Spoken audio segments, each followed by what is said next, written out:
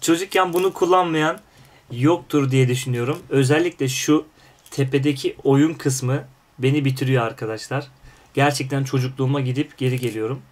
Ee, o oyunu, o topu böyle e, hedefe ulaştırmak için her türlü yolu deniyorduk. Tabii farklı farklı şeyleri de vardı bunun. Ee, o yüzden bunu çok sevdiğim için ve çocukluğumu hatırlattığı için kameraya karşı balon oluşturmak istiyorum.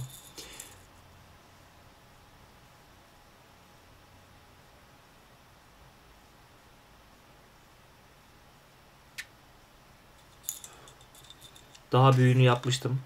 Tekrar deneyelim.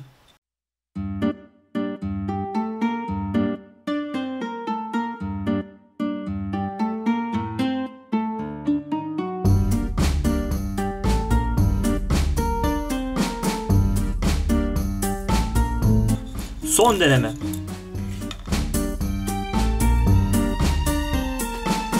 Bu arada bunun taktiğini buldum.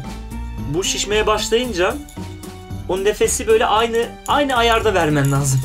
Ne az ne azaltacaksın ne de hızlandıracaksın. O ayarı koruman gerekiyor. Hadi bakalım.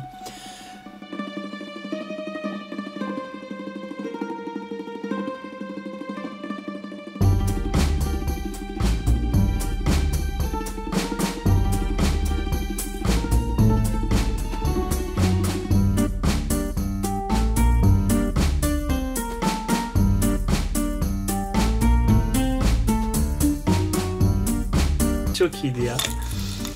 Evet arkadaşlar bu videoyu beğendiyseniz lütfen beğenmeyi ve kanalıma abone olmayı unutmayın. Bir sonraki videoda görüşmek üzere. Şu sesle sizi baş başa bırakıyorum.